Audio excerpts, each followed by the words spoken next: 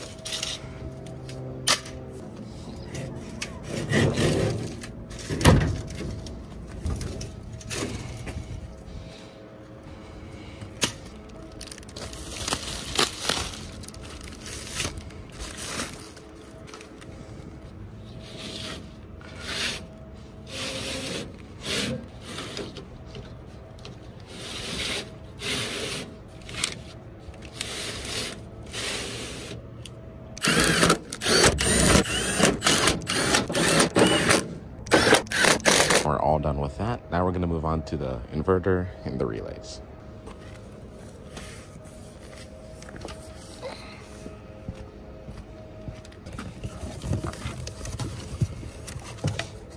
So there's a lot of parameters that we have to write down from the old inverter so that we can transfer it to the new one. So going to write down everything. We're going to go through everything and then program the new one. have all these to go through. Yeah, so all these things mean different things. So like number one is the maximum frequency, Mhm. um, because a lot of it we need to double check what the motor says. Mm. But here it's 60 hertz is as max as you want for the most part. Yeah. But like number two is the minimum frequency.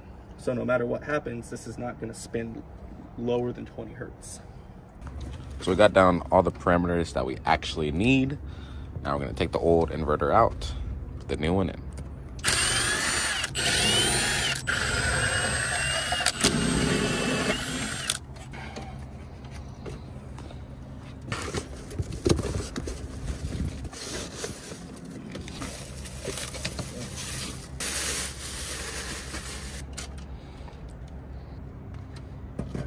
Top left.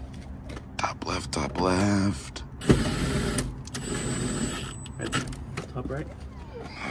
Top right, top right.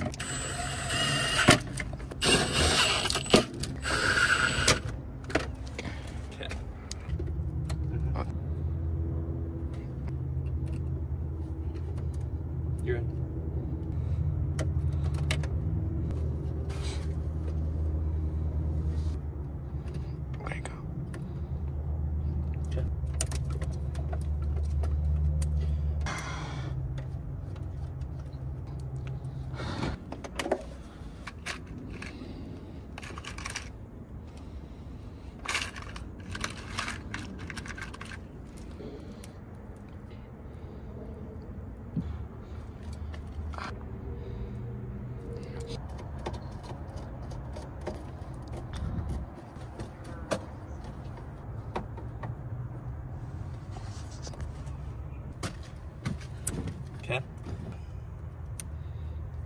Got our new CSI hooked up and connected.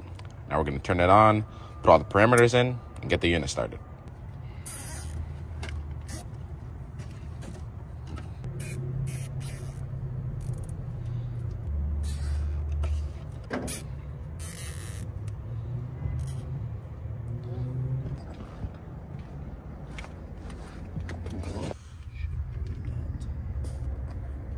Okay, what's the next one?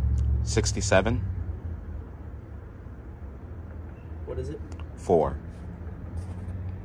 It was kind of just you got over ah. slower. All right, well now, because we did the relay and the capacitor for condenser fan one, we gotta make sure that works.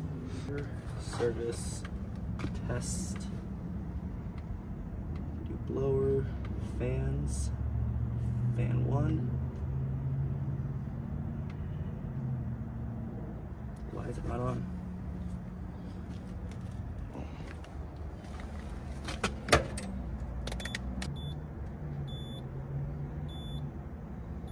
So, turns out one of our fan motors was unplugged. That's why it wasn't on. Kind of oh. makes sense.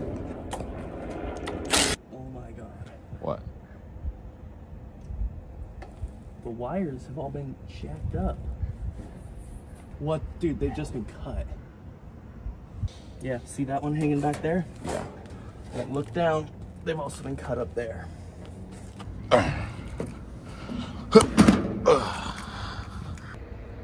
One, two, three. Just a couple, just in case you missed Clean. some. Good. Yep, that one's good.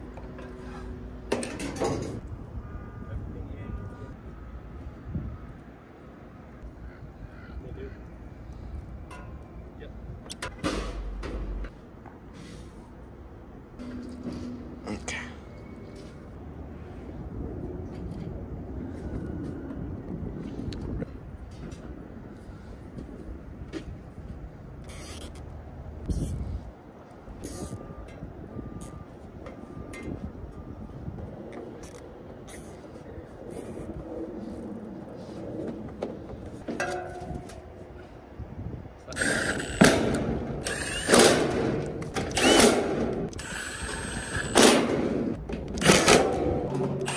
Gonna last test. Make sure everything is great before we head out.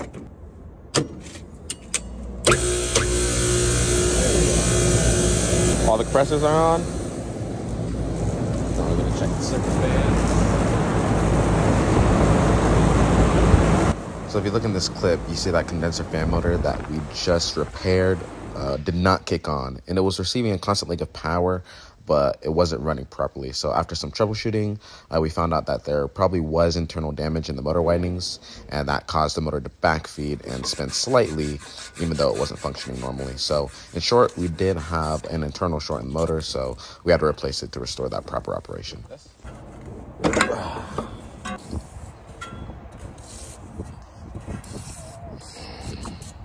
Okay, just hold it like that.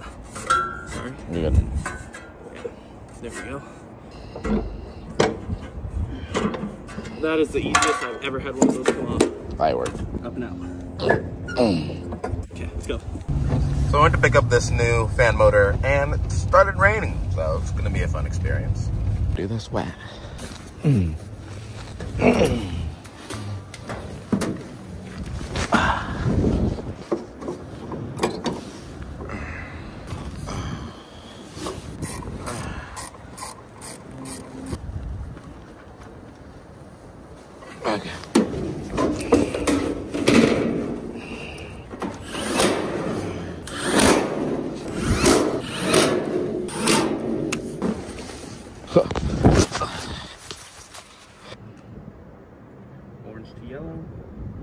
All clear.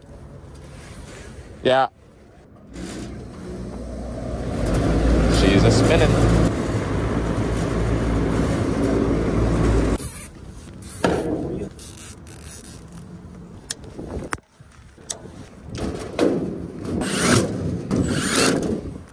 That's light work on a fan motor in the rain. And of course, right as we're leaving, the sun starts coming out. Anyways, still a beautiful day. Shut up. I'm not talking to you.